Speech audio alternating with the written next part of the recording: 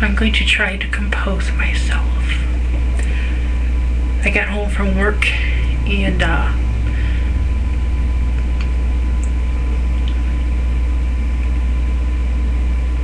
I saw Girl Cat laying in the futon and I knew the time has come. So tomorrow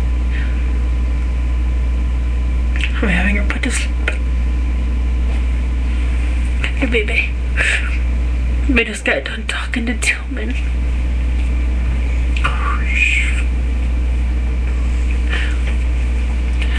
Wait. There. Shh.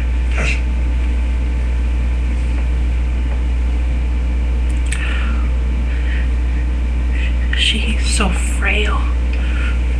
Oh. Hello, everybody.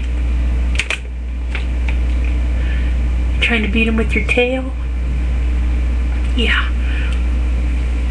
Yeah, I know, honey. She's having trouble breathing she can't really walk. Although you did drink some milk, huh? Yeah, you did.